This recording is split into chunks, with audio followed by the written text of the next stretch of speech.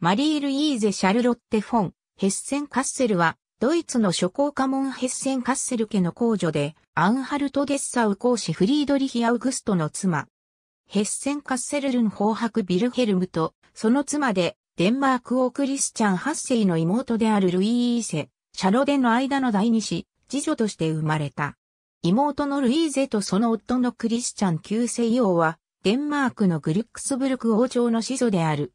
1832年9月11日、オフェンバッハームマインのルンペンハイム宮殿において、アンハルト・デッサウ公レオポルト4世の弟であるフリードリヒ・アウグストと結婚し、間に3人の娘を設けた。